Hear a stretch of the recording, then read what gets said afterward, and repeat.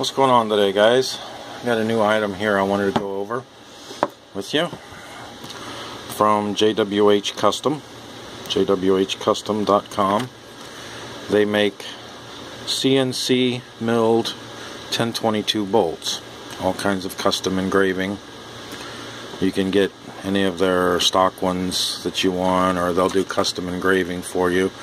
They also make uh, charging handles and buffer kits and mag releases, speed hammers. Um, but I got the one of their bolts. This is, like I said, it's a CNC milled bolt versus the stock Rugers that are cast. Uh, it comes with uh, the firing pin and the extractor. It's a complete drop-in bolt. The difference is this one is, if you can see that, is cross pinned to prevent the firing pin from moving around in that channel. The problem I was having with my stock Ruger bolt is this this bolt is 20 plus years old. I think I, I looked this up and this was built about 1984. I bought this thing used 20 years ago. You can see the I've did a little bit of polishing in there to try and slick it up, but you can see the wear inside the receiver there. Is after they get wear on them, they get loose, you start getting the firing pin floating. I don't know how well you'll be able to see this, but you can see that firing pin has the ability to to move up and down. Now, I'm sure that the wear on the top of the bolt and the staking has a lot to do with it. But the problem I was running into is under normal plinking, it wasn't an issue. But speed shooting, like you do for Steel Challenge, um, you're shooting and this bolt is moving so fast that I think that firing pin was was starting to float up. I was getting good strikes, but they were on the extreme outer edge of the case rim. And uh, was just a problem.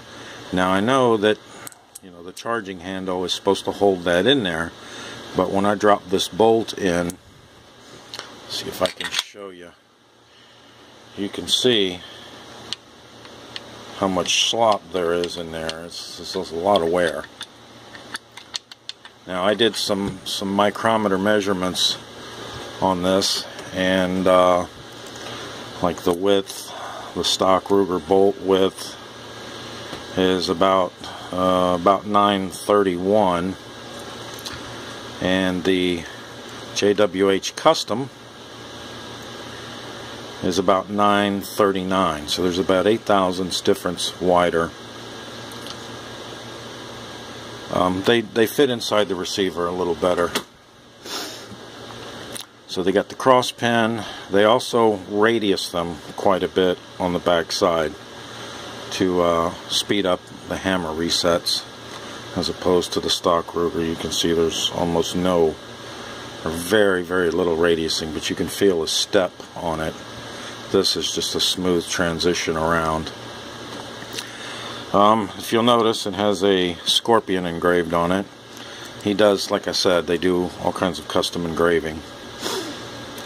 You can get the stock ones, you can have ones engraved. I picked this one because it was on sale for 59 bucks.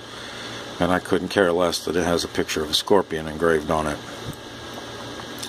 But I have no time to test this. I'm going to put it in the gun. I'm going to run it Saturday. Um, it is not a USPSA sanctioned match. It's just an outlaw match, so it's not going to hurt my scores if it don't work out, but hopefully it will work out. I also bought some of their polyurethane buffers to go into the receiver. If you know, the stock Ruger buffers are basically just a big pin, big steel pin.